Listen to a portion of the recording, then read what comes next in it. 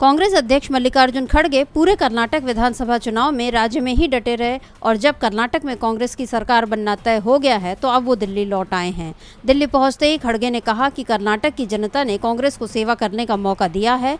राज्य में बीजेपी शासन में महँगाई, नफरत और भ्रष्टाचार से जनता परेशान थी, ये उन लोगों की हार है। कर्नाटक की जनता ने राज्य में बीजेपी की नीतियों को नकार दिया है। वोट स्थायी सरकार के लिए दिया गया है। बार बार बदलाव से जनता भी परेशान हो गई थी। कांग्रेस अध्यक्ष ने कहा कि कांग्रेस को हर वर्ग का प्यार मिला है। अब हमें कर्नाटक को नंबर वन राज्य बनाना है। सीएम पद के चुनाव को लेकर भी खड़गे ने साफ़ कर दिया है कि इसका फैसला हाईकमान करेगा। सोनिया, राहुल और प्रियंका के साथ मल्लिकार्जुन खड़गे और कांग्रेस के दूसरे दिग्गज नेताओं के साथ मिलकर कर्नाटक में नए नेता के नाम पर मंथन चल रहा है। जो भी सीएम होगा, वो कांग्रेस की सभी गारंटियों को पूरा करेगा।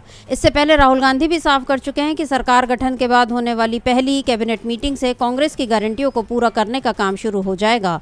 कर्नाटक में कांग्रेस की ओर से पाँच गारंटियाँ मुख्य रूप से दी गई हैं, जिसमें गृह ज्योति के तहत 200 यूनिट निःशुल्क बिजली गृह लक्ष्मी में परिवार की मुखिया को दो हज़ार अन्न भाग्य में 10 किलोग्राम अनाज देने का वादा किया गया है। इस घोषणा पत्र में युवा निधि के तहत बेरोजगार स्नातकों को एक माह में तीन तीन हज़ार रुपये तथा डिप्लोमाधारी बेरोजगारों को डेढ़ डेढ़ हज़ार रुपये दिए जाएँगे।